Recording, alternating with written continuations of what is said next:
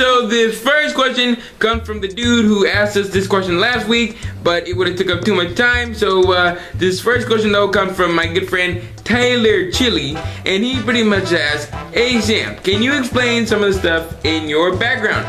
Well, Tyler, sure, no problem. So pretty much we're gonna go into detail right here. Um, this little uh, piggy bank thingamajig right here, I got from a local antique store, and I keep all my money in there.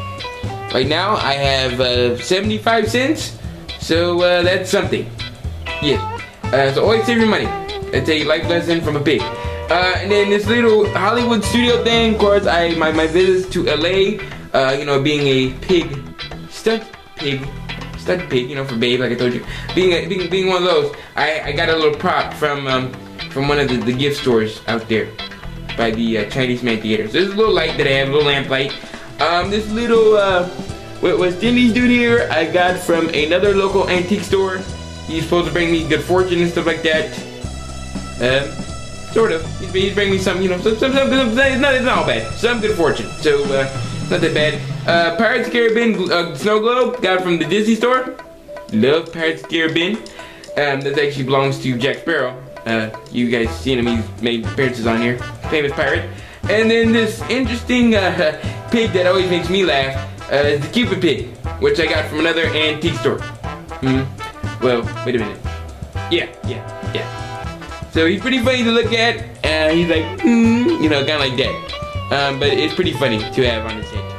Because when we're having a bad day, you know, we're all here sitting filming, and then what makes us laugh, we just look at that, that this pig, and we just all have a really good time laughing at him. He's amazing.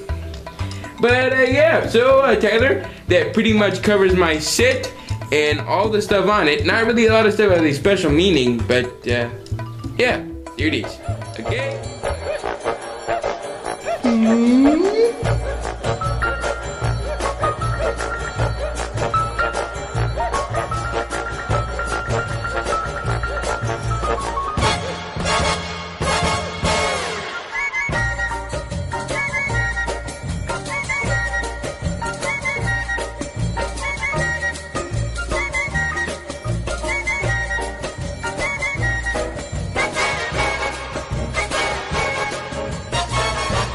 Subscribe